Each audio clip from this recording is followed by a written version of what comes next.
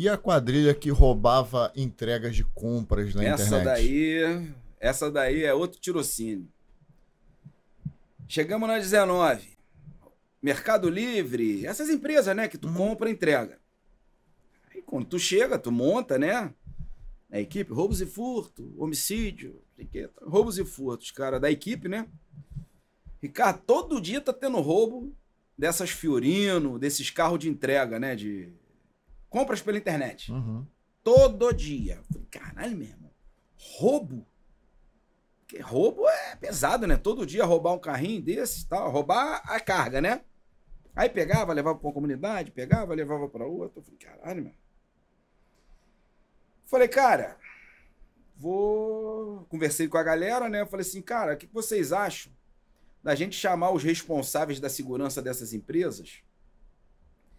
Tinha até um policial civil e vamos entrar num. pedir para fazer um grupo de WhatsApp para entrar. Os caras, pô, boa. Resumindo, Romo, eu entrei em todos os grupos de WhatsApp de motorista entregador. E eu fui e falei, pessoal, meu nome é Ricardo, trabalho aqui na 19 DP. A minha finalidade é ajudar vocês. Eu oriento vocês se observarem algum carro em atitude suspeita, algum carro que esteja seguindo vocês, vocês parem perto de uma viatura da polícia e nos avise. Porque nós vamos estar em diligência. Ô Rômulo, em 15 dias o cara, ó, tem um linha preto aqui que tá numa atitude suspeita, tal, tal, tal. Resumindo, em 15 dias prendemos um linha com três vagabundos armados que iam roubar. Em um mês, identificamos as pessoas que estavam praticando o roubo. Por quê?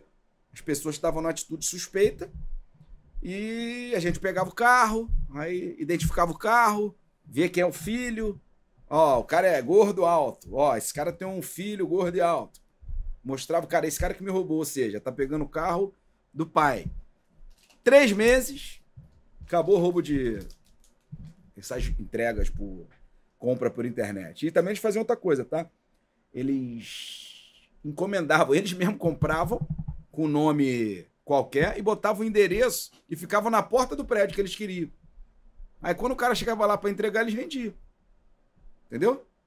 Cara, os bandidos vão. vão Porra, criatividade, né, meu? É isso. Aí zeramos, zeramos, zeramos. Eu acho até que hoje, não sei nem como é que tá hoje na Tijuca esse roubo, mas zerou. Ficou seis, sete meses sem um roubo, porque a quadrilha foram presos.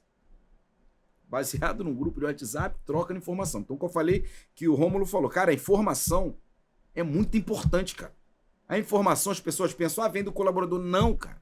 A informação, às vezes, vem de um parente de um preso. A informação vem, porra, do motorista. Porra, esse carro me seguiu, mas antes quem tava me seguindo era uma Uno. Uno, beleza. Vamos olhar aqui no RO Web. Quais são as Unos que participaram? Ah, aí tu, daqui a pouco a Uno que participou do outro fato tem a placa. Aí tu já levanta. Aí tu já faz uma busca ali na família do cara. Tu fala, meu irmão, esse cara tá. Meu irmão, é informação, parceiro. É, E a gente é quebra-cabeça, é investigar. muito bom, cara.